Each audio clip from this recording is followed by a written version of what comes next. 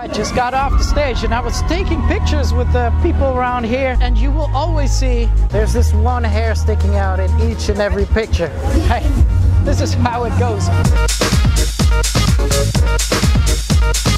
Hey, what's up? This is Laidback Luke, DJ and producer, and welcome back to this vlog. Another touring vlog, but also a diving into my mind type of vlog. And now I gotta come clean with you because I say I prepped for this. The prep was actually really minimal. And the prep was actually all here because throughout the week I've just been tackling deadlines. I finished two tracks, one vlog, a script for my Way Back Luke radio episode. And I'm not gonna disappoint you here. This is very important. Ask yourself with every show, who is the crowd that I'm gonna play for? And in this case, I figured it's not a too young of a crowd because you need to be able to afford this trip out to Cancun. There's a lot of maybes involved. Maybe there's a lot of Deadmau5 fans who love Deadmau5 music. Maybe there's a lot of Kaskade fans who love Kaskade's music.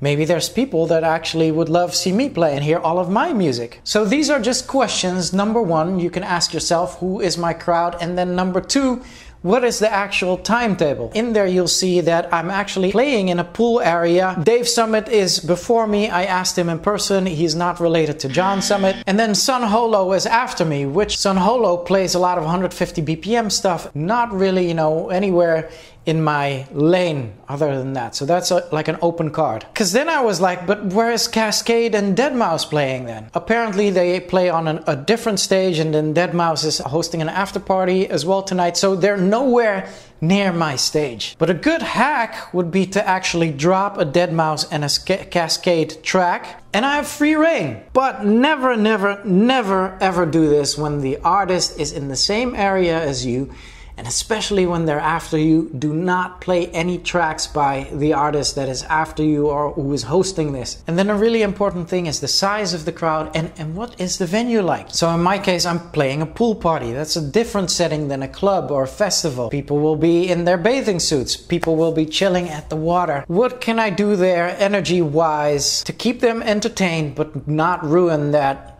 swimming pool type of vibe. So with all these questions, I was driving out to the airport and I was actually listening over the latest tracks that I had downloaded and, and, put in my DJ system. I came up with titles, I looked at titles, I set some cue points here and there, thought about combinations, thought about vibe. So for instance, this type of crowd would probably love Eric Prydz every day as well. So I'm gonna plan on playing that as well, which I'll let you know. And so we're here at the backstage section of my vlog. Let's see how my trip out to Cancun, Mexico went, and then I'll come back to you after with thoughts and how it went and what actually went down, what I had planned. Here we go. Touchdown in Mexico, in Cancun. Very happy to escape the, the cold and wet weather in New York right now, and I'm ready to get sun soaked. Hey, but whoa, whoa, feel that. It's summer instantly. Wow. In my right now, enjoying the, the Mexican view, Cancun right here, and what I think is quite ballsy is that there's there's no safety belts. I'm not wearing a safety belt. How about that? Good thing my driver is. That's fine. As we go. Arriving at the hotel, it looks massive. Look at that. I don't know if you can see it, but there's a long stairs going up there, and this whole thing kind of looks like is it a pyramid? Well, I was right. It is a pyramid, and actually, it was a long way out walking to my room, so I lost a bunch of time there. So I am actually scrambling, but before I go to the show, feast your eyes on this. Look at this. Oh, that's the stage for tonight, I believe. Man, we're here. Hello, Cancun. I'm gonna need to get ready straight away. Make sure to hit me with a like right now. And if you love seeing the backstage and the DJ life, hit me with a subscribe button as well. And also hit that bell. Don't forget. Well, I made it, sorta, kinda. I'm like 10 minutes late, but I'm in outfit and we are in the green rooms, which uh, the green rooms are never green, but I've been dying to get some food as well. And so we have uh, this backstage, and it's funny, right? Because backstage land, oh, it's super exciting. Look at all these people. Maybe some quiet for the storm. So I'm just gonna eat something and then I'll go on stage.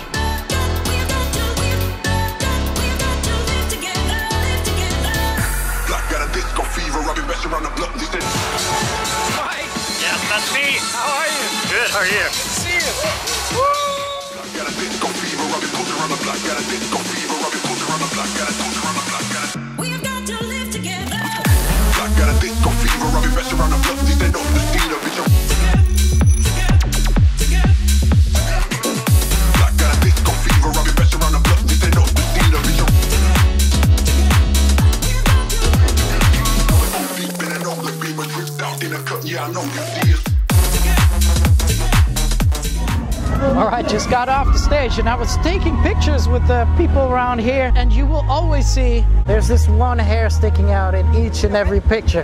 Hey, this is how it goes. Set went great. Let me talk to you about it in the room. Okay, so hair is fixed.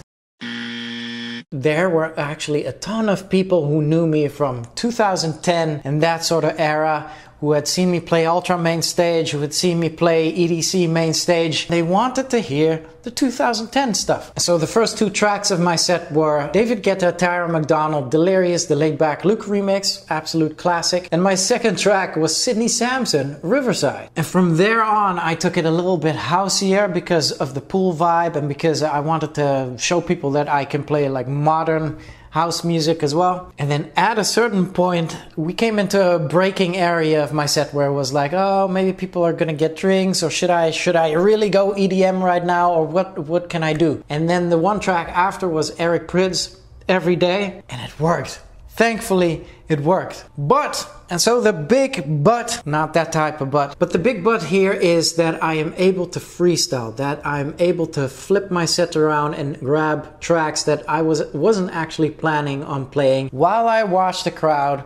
I'll go with the flow. And that's a very important trait to have and something that you should train and which you can literally only train if you play out and play out a lot. But don't go anywhere, I have a little bonus for you. The vlog is not done yet. I am actually gonna take you out to the other stage where I'm gonna check out Green Velvet and right after Kaskade is playing. And Deadmau5 is hosting an after party at midnight. I'm thinking of showing up there as well. So I'm gonna take you with me and we're gonna see what that was like right here.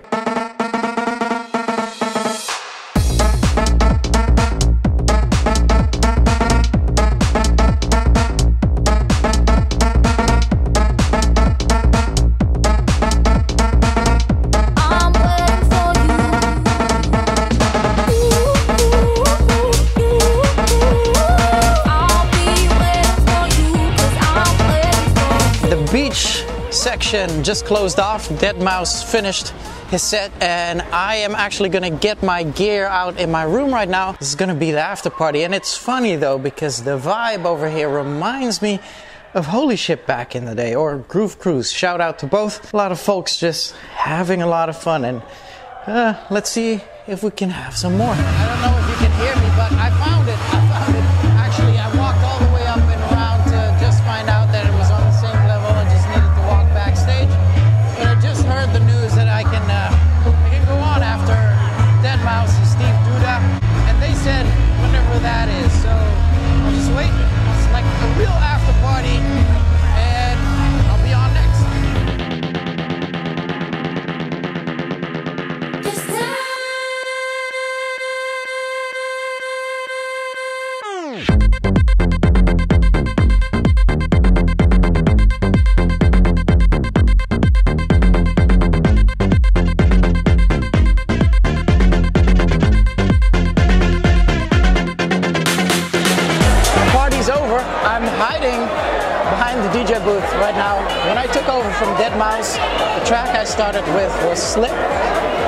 I slipped into uh, Simian, We Are Your Friends, the a cappella.